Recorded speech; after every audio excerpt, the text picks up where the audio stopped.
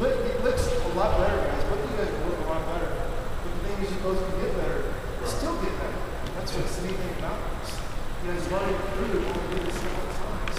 We're just improving, it, trying to better and better, so you know what, what, you know, get everything on track, get the legs a little bit more this is a good point. And then that first step, I can't emphasize more, the first step, you know, get comfortable being, the more you get comfortable here in that first in this first position here, you make your first step, is right here.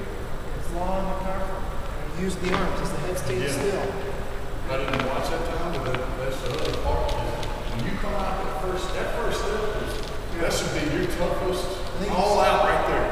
He's getting better at that. And getting- getting that hand as far up there as you can too, because your arm will really help you on that first step. So, I mean, you just, Yeah. like you're trying to knock somebody out. That's why we're working, under that's why we're working the arm action so. Yeah. tonight. That's why you're doing the arm action. That first, that left step it's got to be, the left arm has got to be, boom.